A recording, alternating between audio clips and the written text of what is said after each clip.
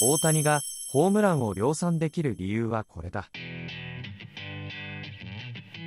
今シーズンからロサンゼルス、ドジャースに移籍した大谷翔平選手、すでにフリー、バッティングやライブ BP では特大のホームランをいくつも披露しています。そんな大谷選手のバッティング練習はメジャーリーガーたちがこぞって見学に訪れるのがおなじみの光景となっておりパワーではメジャーにはかなわないと言われていた一昔前からは信じられない光景でもあります。一体大谷選手はなぜあのような特大のホームランを打つことができるのでしょうか。今日はメジャーリーグを席巻する大谷選手の驚くべきデータとデータサイエンスを利用することによる野球界の変化についてお話ししたいと思います。大谷選手がメジャートップクラスのあるデータ。ホームランを打つにはどうしたらいいのか。これは野球をしていれば誰もが考えたことがある疑問でしょう。例えば日本では打撃の際にホールにバックスピンをかけるようにして打つ。などの技術論も往年の名選手たちからはよく聞かれてきましたが現在の最先端ではそういった技術論よりも重要視されているデータがあるようです。アメリカのシアトルにあるトレーニング施設ドライブラインベースボールのトレーナーダニエル・カタラン氏はバッティングで大事なことを強くボールを打つことだと述べています。ではどうしたら強く打つことができるのか。カタラン氏はこれについて次のように述べています。どうやったらボールを強く打てるか。バットスピード。これに尽きる。バットの芯の加速度を大きくすることがボールを強く打つことにつながっていく。またカタラン氏は一流と三流のバッターの違いはバットスピードだとも述べバットスピードつまりスイング時のスイートスポットの速度が速い人が打率を残すことができ成功を収めているとデータが証明していると述べています。このバットスピードにこそ大谷選手のバッティングの秘密が隠されているのです。カタラン氏によるとメジャーリーガーの平均のバットスピードは115キロほど。対して大谷選手は128キロものバットスピードを誇り現状ではアトランタブレーブスのアクーニャジュニアと並んでメジャートップだということです。当然そのバットスピードで打球をどの角度で打ち出すかによって打球がホームランなのかヒットなのかは異なるでしょうがホームランを量産するための根本的な要因としてバットスピードがあるようです。またそれを示す別のデータも存在します。それはバッターが打ち出した打球の最高速度です。メジャーリーグで導入されているデータ分析ツールスタットキャストによると昨シーズン最速の打球を放った選手は昨シーズン41ホームランを放った。アトランタ・ブレーブスのロナルドアクーニャジュニアの195.1キロ。2位がシーズン62本というアメリカン。リーグのホームラン記録保持者ニューヨークヤンキースのジャンカルロスタントンで192.3キロそして大谷選手は彼らに匹敵する190.9キロを記録しています。その他の打球速度ランキングの上位者も1シーズンに30本以上のホームランを放つ強打者がずらりと並びこのデータの信憑性が高いことが分かります。また大谷選手はバットスピードの最高速度だけではなくその平均速度も傑出しておりこちらでもヤンキースのアーロンジャッジ前室のアクーニャジュニアに次いで3番目に速い平均打球速度を記録しています。この顔ぶれを見ても大谷選手がコンスタントにホームランを放ちホームラン王に輝いた要因の一つが常に並外れた打球速度ひいてはバットスピードにあることが見て取れます。フライボール革命。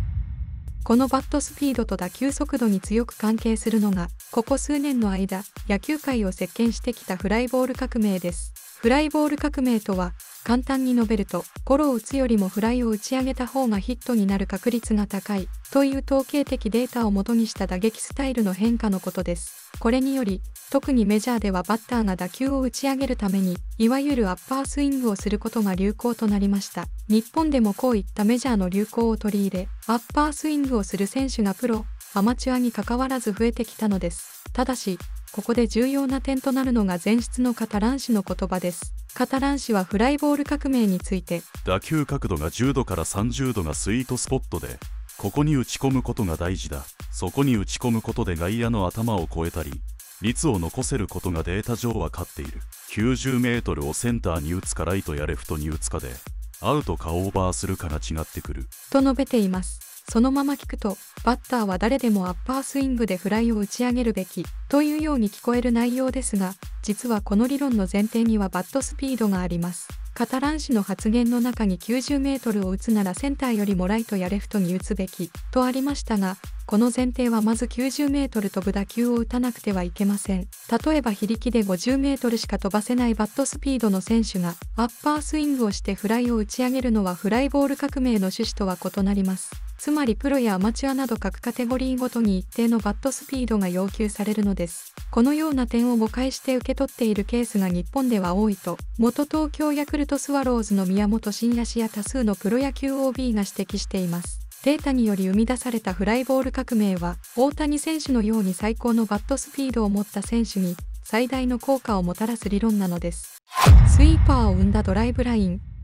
そしてこのフライボール革命の流行に大きな役割を果たしたのがカタラン氏が所属するフロリダにあるドライブラインベースボールです。この通称ドライブラインは野球を科学的に解析してパフォーマンスの向上を目指す施設でこれまでも大谷選手や過去にサイ・ヤング賞を獲得したトレバーバウアーをはじめ数々のメジャーリーガーや NPB のプロ野球選手が訪れています。ドライブラインでは統計データや映像解析動作解析などを最新の機器を使って解析し各選手の身体的特徴に合ったフォームやトレーニング方法を指導しておりバッターであれば例えば最適なスイングの軌道や打球角度の指導またそれを実現するためのトレーニングをしたりピッチャーであれば例えば球速を上げるためのフォーム改善投球フォームの特徴から打者を打ち取るための最適な変化球の指導などを行っています。ドライブラインが生み出した代表的なトレーニングとしてプライオボールと呼ばれる異なる数種類の重さのボールを使ったトレーニングがあります。皆さんも大谷選手がウォーミングアップ時にグラウンドの壁に向かって色のついたボールを様々な動作で投げているのを見たことがあるのではないでしょうか。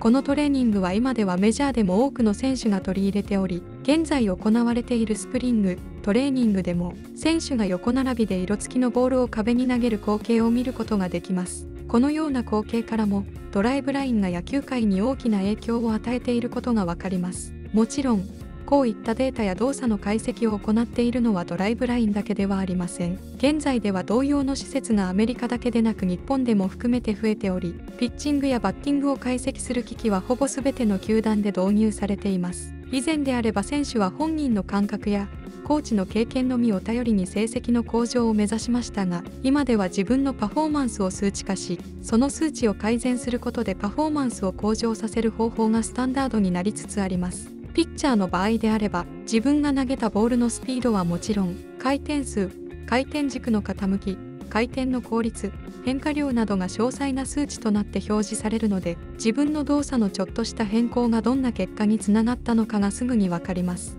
例えばこうやって体重移動をすればスピードが出る。こう手首を使えばこれだけボールが変化する。などという検証と修正を瞬時に行えるわけです。以前であれば自分の試みの効果を確かめるには自らの感覚やキャッチャーの意見あるいはバッターに投球するまでは分からなかったことを数値としてすぐに教えてくれるわけです。バッターに関してもこのようなデータサイエンスは効果的でしょうがピッチャーにおいてはより即効性のある効果が現れています。現にデータサイエンスが広まり始めた2015年頃から NPB のピッチャーの平均球速は5キロほどもアップしています。同様のことは変化球についても言えます。例えばこの数年メジャーを席巻している変化球にスイーパーがあります。スイーパーはスライダーの一種であまり沈まずに 25cm 以上の変化を伴うものと定義されています。WBC をご覧になった方であればご記憶に残っているかと思いますが決勝戦の9回裏大谷選手がトラウト選手を三振に仕留めた最後のボールもスイーパーでした。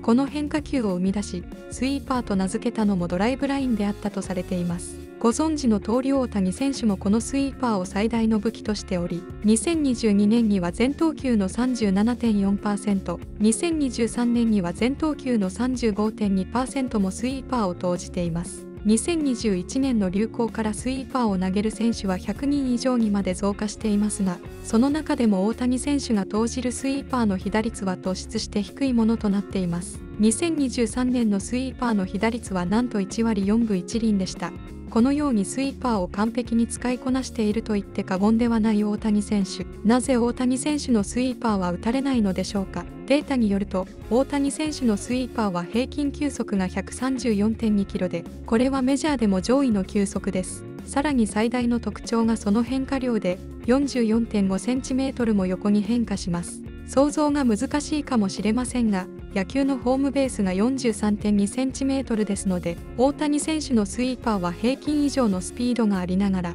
ホームベースを端から端まで急激に変化するのです。バッターはインコースに来たと思った次の瞬間にはアウトコースのボールゾーンまでボールが変化するのですから対応が困難であることも容易に想像できます。また大谷選手はスイーパーの使い方についても独自の考えがあるようでどのようなアプローチで今のスイーパーを作り上げたのかという質問に何種類かパターンがあるんですけど一番ベーシックなスイーパーに関してはデータでまだ出てないおそらく僕がこうじゃないかなこういうスイーパーが打てないんじゃないかなというものを一応持っている。と語っています。大谷選手は自分だけでなく他の選手のスイーパーのデータも把握しておりそのデータを駆使することでメジャー一とも称される変化球を投じているのです。大谷選手はオフシーズンになると前述したドライブラインを訪れるとのことですのでこうした大谷選手の活躍の一端にもドライブラインの存在が一役買っていると言えるでしょう。残念ながら今シーズンは肘の手術の影響で投手大谷の活躍は見られませんが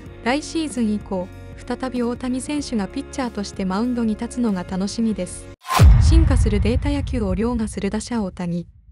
お話ししたようにデータサイエンスによってピッチャーの球速や変化球は日進月歩で進化しています。ではこのような進化するピッチャーたちに対して打者大谷はどのように対処していくのでしょうか。打者の進化といえば前述したフライボール革命が思い出されますが昨年頃からこのフライボール革命によるワッパースイングを修正する兆しが見え始めました。その理由はフライボール革命によってアッパースイングの選手が増加した結果それに対抗するピッチャー側のデータサイエンスによる対抗策としてピッチャーがストライクゾーンの高めに速球を投げ込むことが増えたためです。皆さんも大谷選手や昨シーズンはオリオールズに所属した藤浪晋太郎選手がストライクゾーンの高めの速球でバッターを打ち取るシーンを見たことがあるのではないでしょうか。もともとアッパースイングはそれまでピッチャーの常識であったストライクゾーンの低めの速球や低めに落ちる変化球を打ち上げやすいとしてフライボール革命とともに流行しましたが年々スピードを増す速球を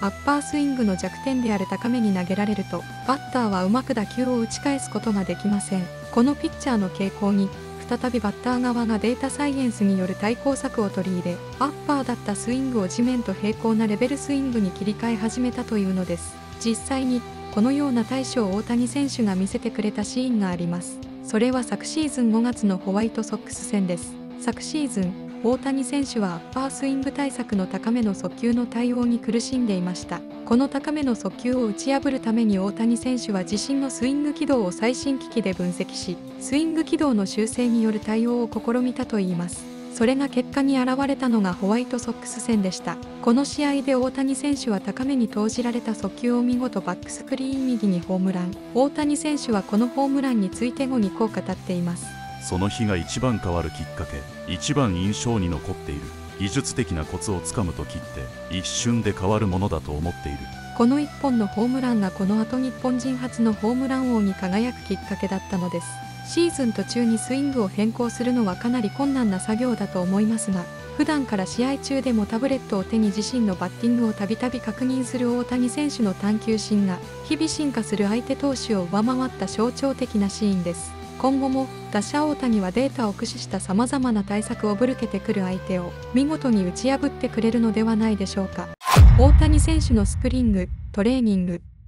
このように野球界特に MLB においては科学的な手法の導入によって日進月歩の進化を続けしのぎを削っています。では現在スプリングトレーニング中の大谷選手はどんな練習を重ねているのでしょうか。現在スプリングトレーニング中のドジャースでは AI を搭載したピッチングマシンが導入されています。この最新のマシンはメジャーに在籍する850人以上の詳細なデータが記録されており実物大の投球映像を映し出しながらそのピッチャーの速度や変化など微妙な球筋までも再現が可能だといいます。これまでは数少ない対戦の経験や記憶をもとに練習するしかなかったバッターが対戦するピッチャーのピッチングを何度でも体感できるのですからバッターたちの対応力はさらに向上が予想されます。その性能はあまりにも高性能でその再現性の高さからメジャーの投手からはアンフェアだとの声が上がるほどだといいます。実際に大谷選手もトラッキングと呼ばれるバッターボックスでボールを目で追う練習に